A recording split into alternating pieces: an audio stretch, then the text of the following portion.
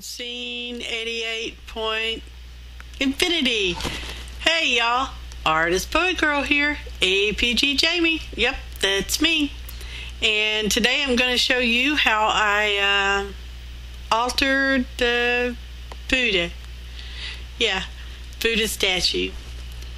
It's about uh, 18 inches tall and I don't know, 10, 11 inches wide, maybe down there at the base.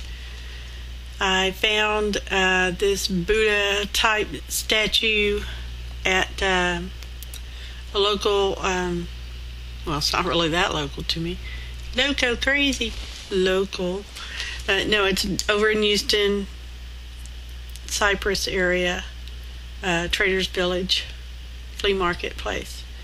So, and when I first saw it, I thought, oh, I want to know how much he cost. They charged me five dollars, y'all, just five dollars for this lovely Buddha thing. And uh, when I saw him, I thought, oh, I could paint him because I wasn't so crazy about, you know, that finish they had on there. Uh, I didn't tell you what it's made out of. It's made out of that plastics, rosin stuff. So yeah, and uh, I thought about painting him a color. So I put uh, white gesso all over him and uh,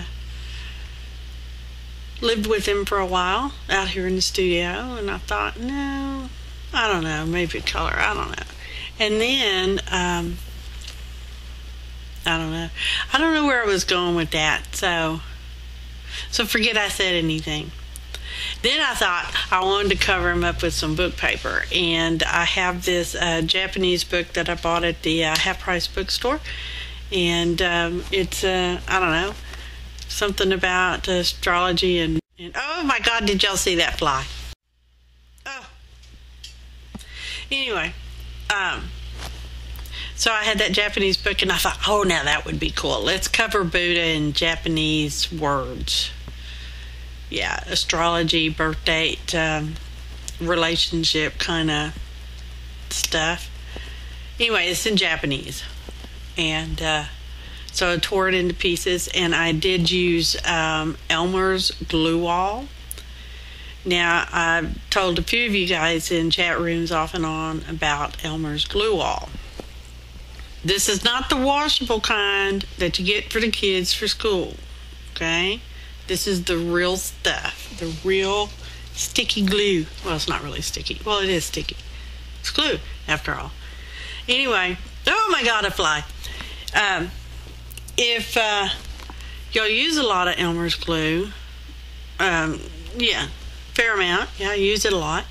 Um, I suggest you go to your local hardware store, Lowe's or Home Depot, not to be name brand dropping here, but uh, one of those. And if you look over in the concrete section, which is typically where it is, it's in the construction area with around the concrete, or you can just ask ask information desk.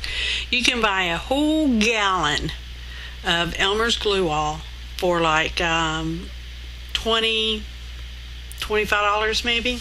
Yeah. That's where I get mine from. That's why it's in an old Aleene's bottle with uh, orange. I painted the lid orange and put a label on there telling me that that was the Elmer's, not the Aleene's. So anyway, Elmer's glue is pretty good stuff, and uh, you can actually uh, this this is a contractor's uh, tip here because I've done that kind of thing before. If you uh, are pouring new concrete or even patching, you know, a small area of concrete. And oh my God, did y'all see that fly? If you dampen your old concrete and you slather it up really good with Elmer's Glue-All and then put your new concrete there, it'll stick. Yes, it will to the old concrete. Good stuff, y'all. So anyway, y'all saw what I did. I put uh, white gesso on uh, Dear Buddha, and uh, I didn't show you the whole thing because that would just be so tedious because it was a little tedious to do covering them all in uh, white gesso. And likewise with this torn uh, Japanese print uh, book paper. Um, it, it's a fairly good weight of paper. There he is from the front.